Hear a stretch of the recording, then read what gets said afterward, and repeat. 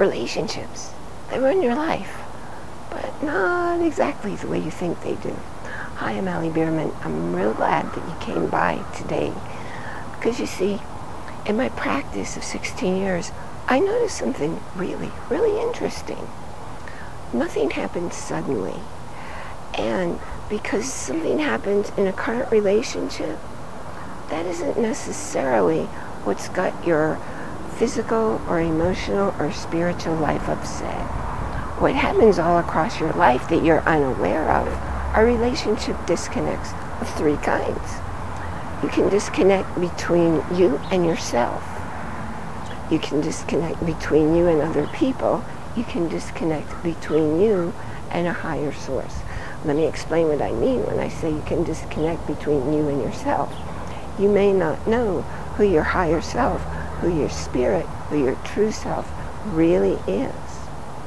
And you may not connect with some of your feminine traits or some of your masculine traits.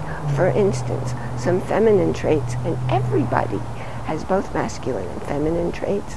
Some of the big topics in feminine traits include creativity, nurturing, and intuition, while some of the big overall topics of male traits include education, business, authority, and property.